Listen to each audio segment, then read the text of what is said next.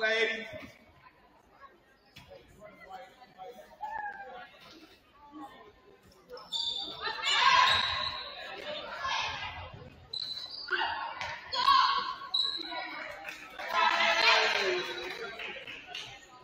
All right.